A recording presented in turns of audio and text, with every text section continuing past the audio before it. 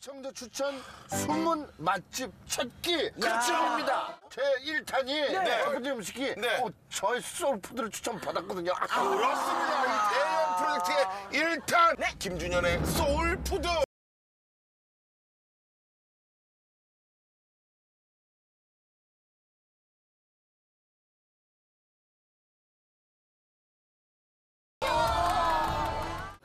가 가볼 곳은 강서구 화곡동에 위치한 40년 전통의 양념 돼지 갈비집입니다. 그렇습니다. 이제 구우시면서 여기다 이제 양념을? 무, 예, 묻혀가면서 이렇게 구우시면 더 맛있어요. 네, 네. 그렇죠. 정말합니다. 네. 몬. 야, 점이었다, 점이었어. 아, 이거 참. 아이고. 아이고.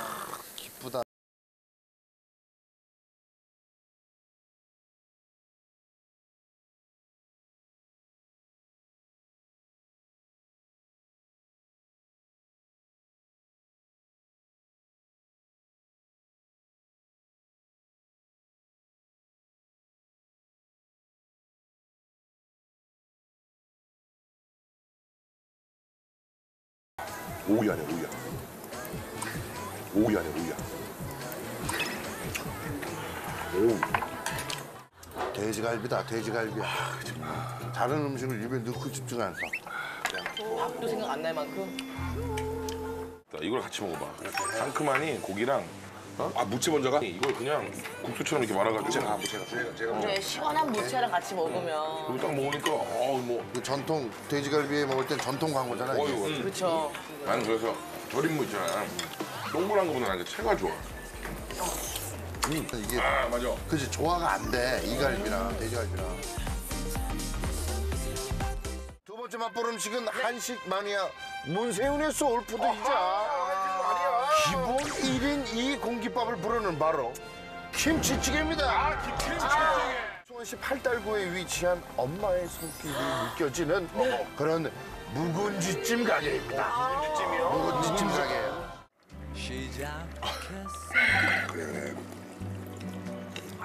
오. 고기도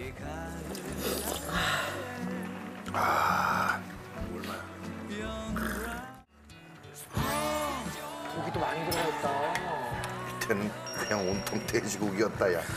좋다. 좋다. 전부 너였구만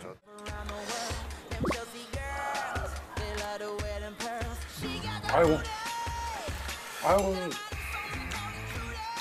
아이고 씹기 좋아 아이고 아주 잘 들었다 진짜 부... 아유 맛있어. 자, 고기랑. 밥이지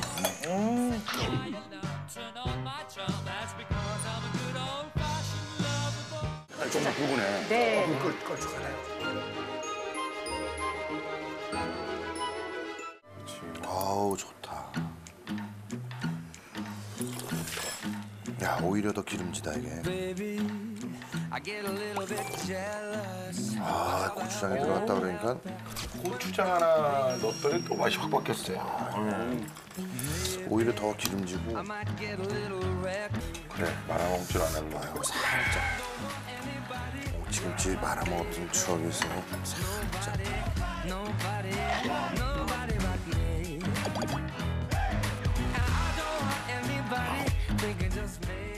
구독과 좋아요 눌러주세요. 함께 감사합니다.